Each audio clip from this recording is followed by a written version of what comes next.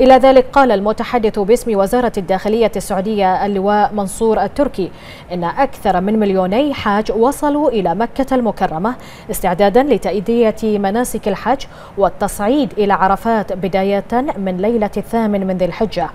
وأضاف التركي في مؤتمر صحفي أن المهمة الأساسية لوزارة الداخلية في الثمان والأربعين ساعة المقبلة هي تنظيم المرور وتمكين الحجاج من التحرك بيسر من مكة المكرمة إلى منى وعرفات في الوقت المحدد شرعا حتى لا يفوت على الحجاج الأداء الصحيح للحج.